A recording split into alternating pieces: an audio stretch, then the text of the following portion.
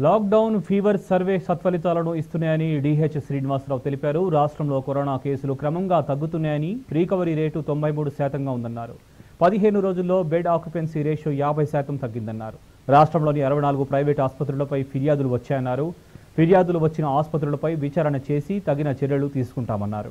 Black ఫంగస్కు భయపడాల్సిన అవసరం లేదన్నారు. బ్లాక్ ఫంగస్కు మందులు అందుబాటులో ఉన్నాయని డిహెచ్ శ్రీనివాసరావు వెల్లడించారు. తెలంగాణ రాష్ట్ర వ్యాప్తంగా కోవిడ్ కేసుల సంఖ్య కోవిడ్ పాజిటివిటీ గణనీయంగా తగ్గుముఖం పట్టడం మనం చూస్తున్నాం. మన పాజిటివిటీ రేట్ వచ్చేసేసి నాలుగు శాతం పాజిటివిటీ రేట్ ఉంది. అలాగనే కొత్త ఇన్ఫెక్షన్స్ కూడా మనం తగ్గడం చూస్తున్నాం. ప్రతిరోజు ఇన్ఫెక్ట్ అయ్యే వాళ్ళతో పోల్చుకుంటే రికవరీ అయిపోయి క్యూర్ అయిపోయి డిశ్చార్జ్ అయ్యే వాళ్ళ సంఖ్య మనం ఎక్కువగా చూస్తున్నాం. సో ఈ విధంగా డెఫినెట్గా తెలంగాణ రాష్ట్రంలో కోవిడ్ వ్యాధి కంట్రోల్లోకి వస్తున్నది.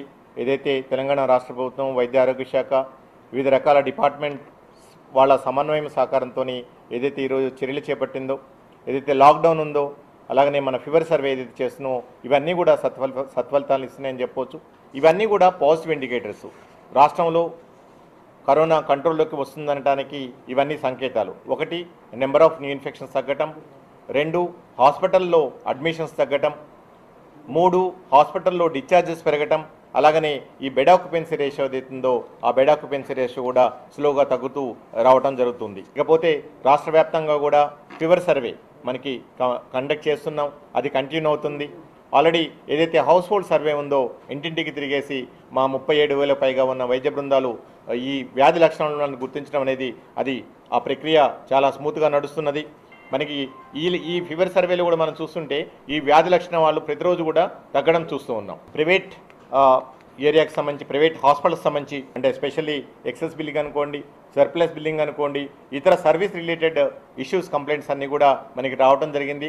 ప్రజల కోసం ఆల్రెడీ ఈ వాట్సాప్ నెంబర్ని చాలాసార్లు మీ ద్వారా ప్రజల దృష్టికి తీసుకొచ్చాం. ఎందుకంటే ఇప్పుడు డిశ్చార్జెస్ ఎక్కువ అవుతున్నాయి ఈ టైంలో హాస్పిటల్స్ వాళ్ళు బిల్ చేయటము ఈ అమౌంట్స్ పే చేయటం కోసం ఒత్తిడి చేయటము మనం చూస్తున్నాం.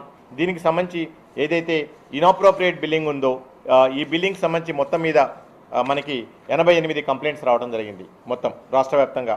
అండ్ ఈ ఎనభై ఎనిమిది కంప్లైంట్స్ వచ్చేసేసి ఈ అరవై నాలుగు హాస్పిటల్స్ మీద మనకి ఈ కంప్లైంట్స్ రావడం జరిగింది.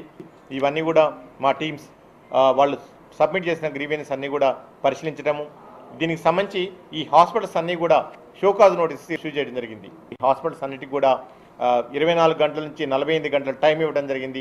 దీనికి సంబంధించిన ఎక్స్ప్లెనేషన్ అన్నీ కూడా వాళ్ళు సబ్మిట్ చేయాల్సి ఉంటుంది.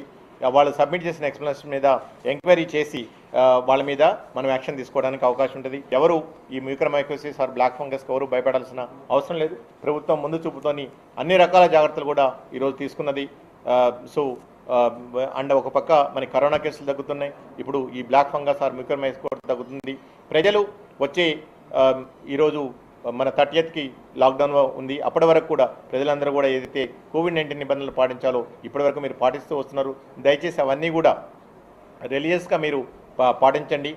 మీరు ఈ రిలాక్సేషన్ టైం ఏదైతే ఫోర్ అవర్స్ ఉందో ఆ టైంలో బయటకు వెళ్ళినప్పుడు కూడా మీరు తప్పకుండా మాస్క్ ధరించండి భౌతిక దూరాన్ని పాటించండి అన్ని రకాల జాగ్రత్తలు తీసుకోండి. ఇలా తీసుకోవడం ద్వారా తప్పకుండా ఎంత త్వరగా వీలైతే అంత త్వరగా మనం ఈ కేసుల సంఖ్యను తగ్గించుకోవటము అలాగనే ఈ కోవిడ్ సెకండ్ వేవ్ నుంచి కూడా బయటపడడానికి అవకాశం